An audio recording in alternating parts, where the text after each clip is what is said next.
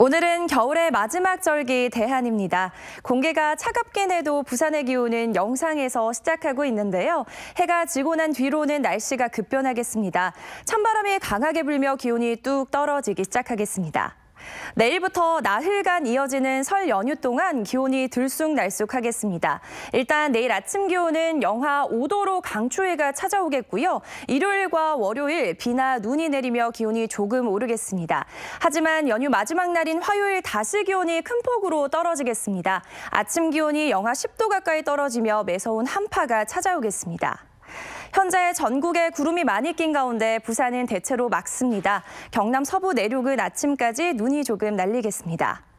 황사의 영향으로 수도권과 충남은 종일 공기가 탁하겠고요. 부산은 오후에 일시적으로 미세먼지 농도 나쁨 수준까지 오르겠습니다.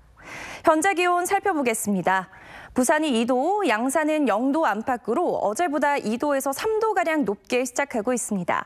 낮 기온은 부산과 양산이 7도, 울산 5도, 거제는 6도로 어제보다 1도에서 5도가량 낮겠습니다. 오늘 아침 동해남부 먼바다부터 풍랑특보가 내려질 것으로 보입니다. 바다의 물결은 먼바다에서 최고 3.5m까지 높게 일겠습니다. 다음 주 화요일과 수요일 한파가 절정에 달하겠습니다. 기온이 영하 10도 안팎까지 떨어지며 올겨울 들어 가장 춥겠고요. 다음 주 내내 영하권 추위가 이어질 전망입니다. 날씨였습니다.